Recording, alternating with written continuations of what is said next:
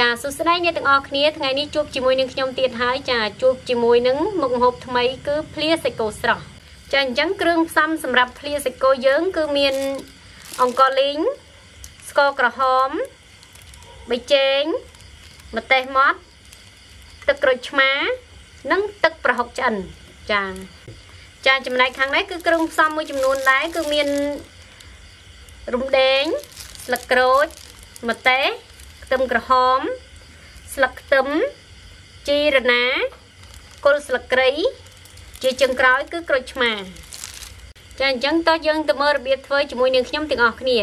ជាដំបូងគឺយើងច្របាច់សាច់គោយើងជាមួយរំដេងនិងក្រូចឆ្មាសិន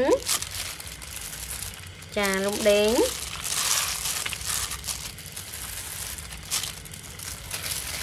ចាបន្តមកទៀតគឺយើងច្របាច់ក្រូចឆ្មាចូលមក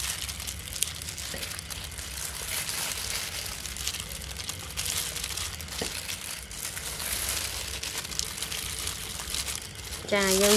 ធ្វើការច្របាច់វាមកយើងប៉ុណ្ណឹងបានហើយអញ្ចឹងយើងពូតវាច្របាច់យកទឹកចេញមួយចំនួនទៅចា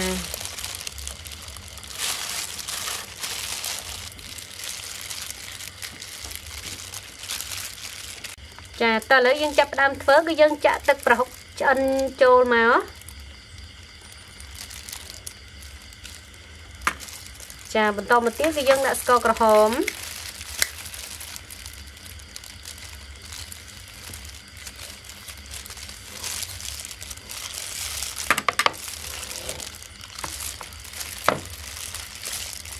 ចាគឺយើងកូរវាឲ្យវាចូលជាតិគ្នាជាមួយទឹកប្រហុកសិន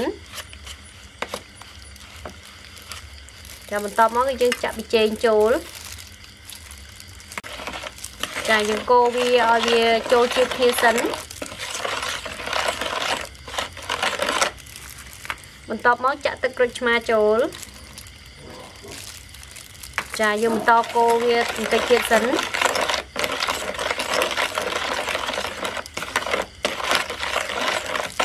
ចារួចហើយយើងចាក់សាច់គោយើងចូលមក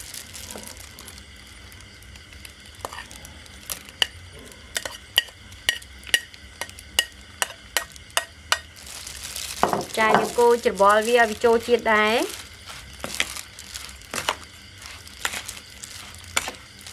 បន្តមកទៀតយើងដាក់ខ្ទឹមក្រហមចូល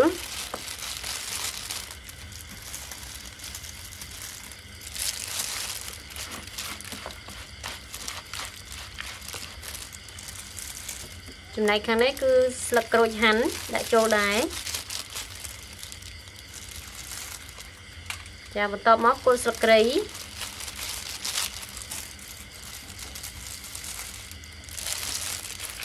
យើងកូរវាបន្តិចទៀតទៅ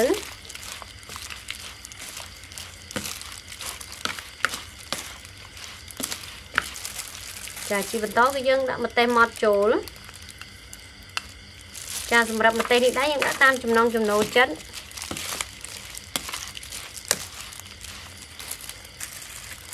ចារួចហើយដាក់អឺអង្ករលីងដែរ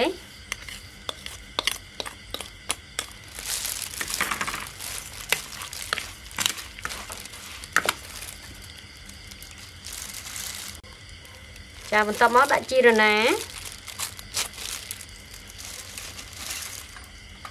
ចាដើមខ្ទឹមហាន់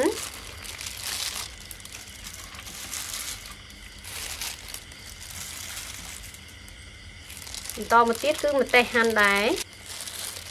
ចាជាចុងក្រោយគឺយើងដាក់ជីគ្រប់មុខយើងចូលមក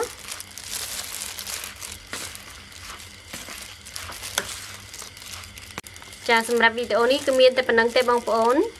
ចានាងខ្ញុំក៏សូមអរគុណផងដែរសម្រាប់ការទស្សនាវីដេអូរបស់នាងខ្ញុំតាំងពីដើមរហូតដល់ចប់